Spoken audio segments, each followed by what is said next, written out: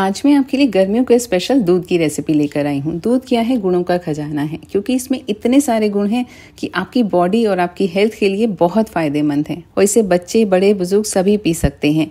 और इसकी तासीर बहुत ठंडी है। आपको अगर गर्मियों में थकान, कमज़ोरी माइग्रेन सर्वाइकल जैसी प्रॉब्लम्स आती हैं तो आप इस तरीके का दूध बनाकर पीजिए। ये प्रॉब्लम्स बिल्कुल नहीं आएँगी। तो चलिए जल्दी से बनाना शुरू करते हैं। इसे बनाने के लिए मैंने यहाँ पर एक मिक्सिंग बोल ले लिया है। इसमें हम पाँच बादाम डाल देंगे। एक अखरोट डालेंगे, पाँच मखाने डाल देंगे, पाँच किशमिश डालेंगे, पाँच काजू डाल देंगे और पाँच ही इसमें छुआरे डाल देंगे। अगर आपके पास छुआरे नहीं हैं तो यहाँ पर आप खजूर का भी यूज़ कर सकते हैं। दो अंजीर डाल देंगे, साथ ही एक बड़ा चम्मच पॉपी सीड्स यानी कि खसखस के दाने डाल देंगे। और साथ ही इसमें हरी इलायची डाल देंगे दो फ्लेवर के लिए। ये बहुत बढ़िया फ्लेवर देंगी। आपको लग रहा होगा कि ड्राई फ्रूट तो बहुत ज़्यादा गर्म होते हैं, इनकी तासीर गर्म होती है, लेकिन अगर आप इन ड्राई फ्रूट को भिगो कर कंज्यूम करते हैं, यानी भिगो कर आप इन्हें तीन से चार घंटे रख दीजिए तो उससे इनकी तासीर बिल्कुल ठंडी हो जाती है तो आप इन्हें गर्मियों में इजीली खा सकते हैं।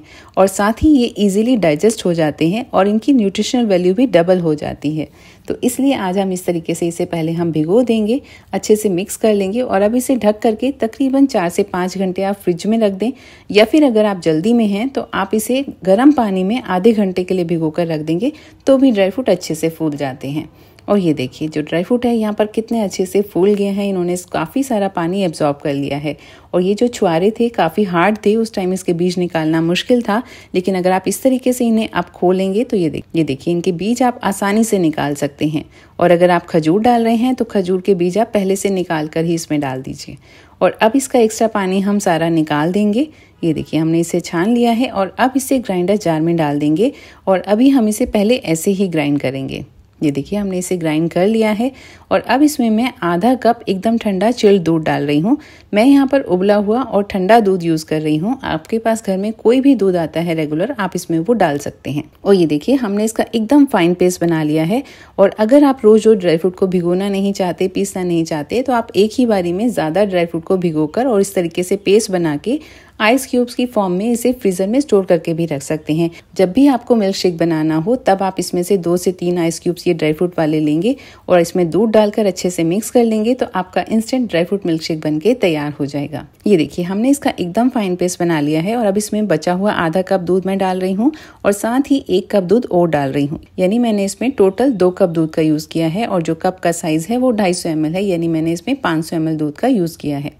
आप चाहें तो यहाँ पर थोड़ा ज़्यादा दूध भी डाल सकते हैं। और मैंने इसमें मीठे के लिए कुछ नहीं डाला है, क्योंकि जो हमने इसमें अंजीर, छुआरे और किशमिश डाली थी, उसमें नेचुरल स्वीटनेस होती ही है तो मेरे लिए इतनी काफ़ी है। अगर आप थोड़ा ज़्यादा मीठा चाहते हैं तो आप इसमें थोड़ा सा मिश्री का पाउडर डाल सकते हैं, या फिर देसी खांड, या फिर शहद का भी यूज़ कर सकते हैं।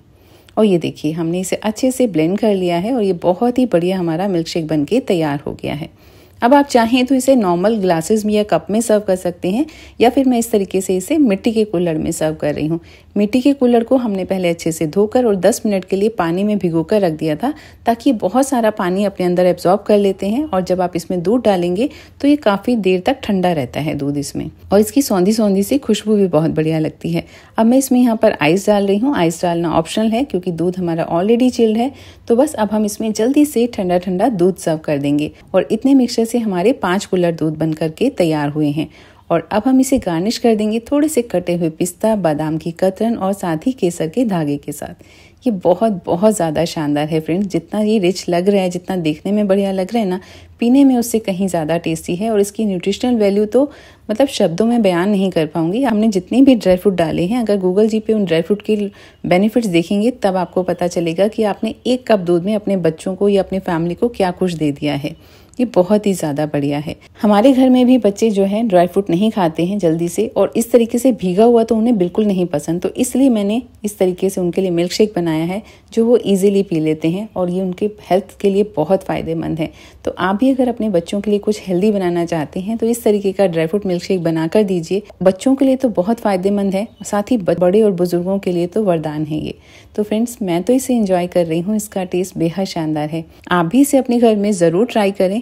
और अगर आपको हमारी रेसिपीज़ पसंद आती हैं तो आपके अपने चैनल रीटा अरोरा रेसिपीज़ को लाइक सब्सक्राइब और शेयर करना बिल्कुल भी ना भूलें। और आप मुझे कहाँ से, कौन से देश से देखते हैं, मुझे कमेंट बॉक्स में बता सकते हैं। इस तरीके से आपसे जुड़ करके मुझे बहुत अच्छा लगता है। अब मिलती हूँ एक और नई रेसिपी के साथ। तब तक के लिए goodbye take care and thanks for watching